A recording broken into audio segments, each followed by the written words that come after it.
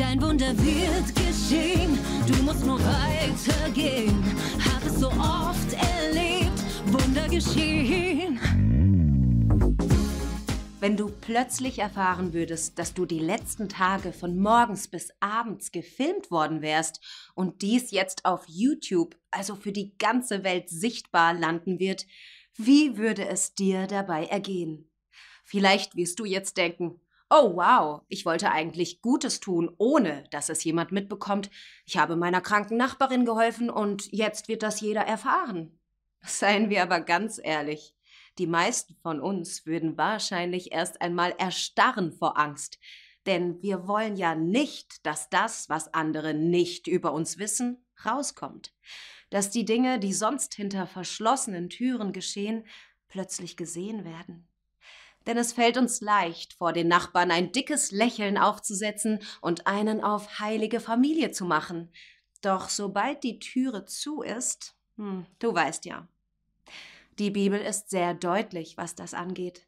Es heißt, wenn ich in allen Sprachen der Welt, ja, mit Engelszungen reden kann, aber ich habe keine Liebe, so bin ich nur wie eine dröhnende Pauke. Eine dröhnende Pauke? Dröhnen ist nicht unbedingt etwas Tolles. Die Motoren der Hubschrauber dröhnen zum Beispiel. Und was macht man dann automatisch? Das hast du in Filmen sicher schon einmal gesehen. Man hält sich sofort die Ohren zu.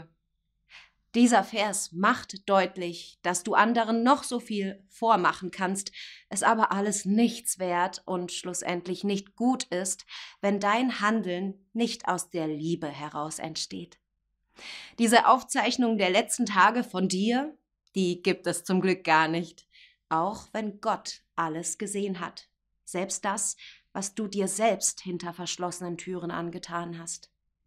Und deswegen ist es wichtig, dass wir uns bei allem, was wir tun, immer diese Frage stellen.